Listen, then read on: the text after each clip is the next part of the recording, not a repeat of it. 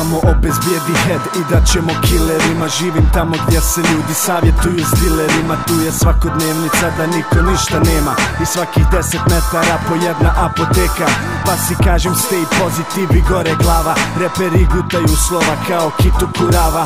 Mjesni su na nas jer ne mogu razviti flow. I nemaju dobre bitove kao debeli Joe. Razlike su jasne jer su naše očekivanja. Zacrtana puno prije ovog snimanja. Svako želi primanja, a ne misle o tome šta bi dali. Pa se nađu ko žuti na krizama. U banani nemam vremena za to jer imam svoje brige. A sitne gnjide za uvijek će ostati gnjide. Prolazimo dalje, ostajete prolazniko vikend. Ljubav za Brčko, ljubav za South City. sam za igru više nego iko ikad. I neko drugi nisam htio biti nikad. U tvoje sjećanje se orežem ko slika. Ako neko pita, reci mu to, reci mu to. I brate nisam sam, tu je sva ekipa.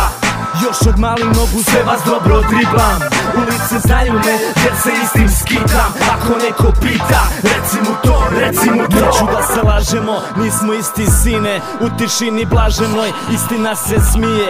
Ja znam s čime, izgradili smo ime. Prepoznaj rista, ja sam rasto na betonu. S time nevjerovatno bacam rime Mnogi znaju još u prije. Da imam protu otrov za sve zmije. Provjeri me jer ove rime lete svud po sobi kao dim. A i štetne su za pičke što se prodaju za cim. Sjedi da prođeš sa mnom tu kroz krš. Nisu ni svjesni kako, al mi daju keš brz.